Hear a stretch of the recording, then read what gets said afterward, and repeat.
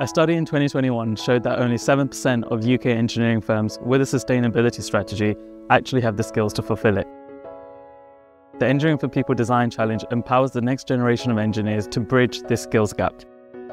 100,000 students have taken part in total since 2011 across 50 universities in six countries.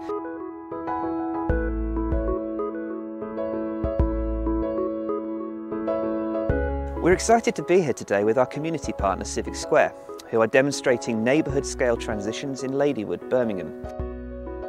The goals of Civic Square are to think about what are the climate, uh, ecological and civic infrastructures that neighbourhoods need to meet the challenges of the 21st century. In our early work at Civic Square we've been exploring what do regenerative futures look like, what do we need to consider, what context are we working within. We've used a lot of the donut economics framework to help us explore that collectively.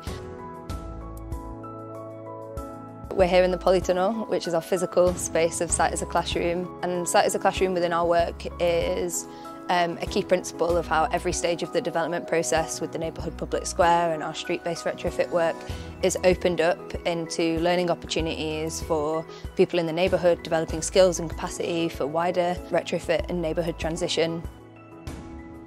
What I'm really excited for in this project is to kind of blow the doors open and get uh, insights from a lot of incredibly qualified people to think about what are some of the ways that we may, you know, respond to our goals as an organisation to provide the kind of infrastructure we're talking about.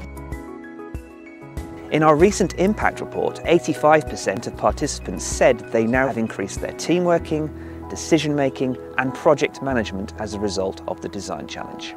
The Design Challenge is designed to be flexible to your needs, with resources that are ready to go.